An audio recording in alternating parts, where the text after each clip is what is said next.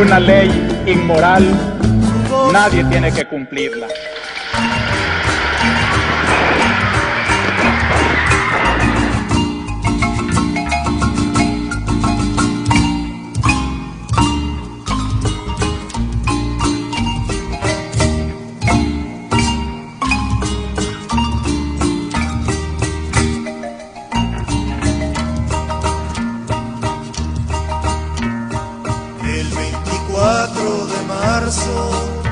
La iglesia no olvidará.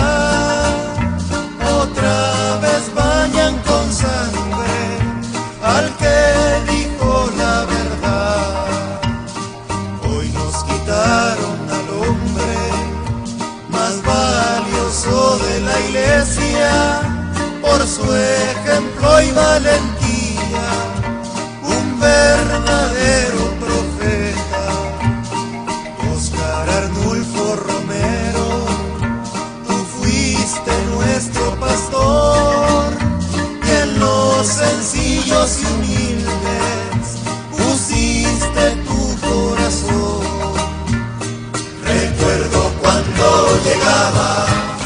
allá por nuestros cantones a ver a los campesinos